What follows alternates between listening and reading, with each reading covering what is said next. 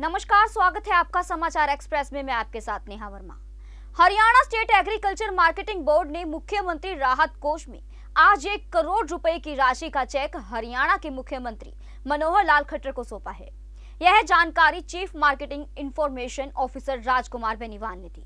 उन्होंने जानकारी देते हुए बताया कि कोरोना जैसी आपदा से निपटने के लिए एग्रीकल्चर के एसीएस संजीव कौशल और डॉक्टर जे गणेशन आईएएस द्वारा यह राशि मुख्यमंत्री को दी गई है, ताकि इस राशि का प्रयोग आपदा प्रबंधन में किया जा सके।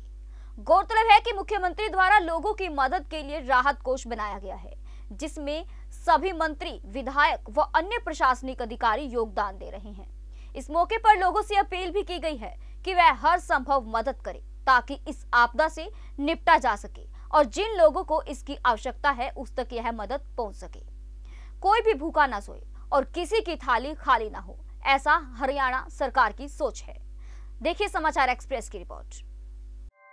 ऐसे ही लेटेस्ट खबरें पाने के लिए बेल आइकन को क्लिक कर हमारे चैनल को लाइक शेयर एंड सब्सक्राइब करें।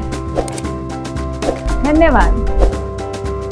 Incredible marriage palace Rajgharana and the finest banquet hall Jyoti Garden. World-class catering, centrally air-conditioned, lush green lawns, state-of-the-art lighting. A perfect venue for wedding, launching and parties. Rajgharana and Jyoti Garden at JBD Banquets Enterprise.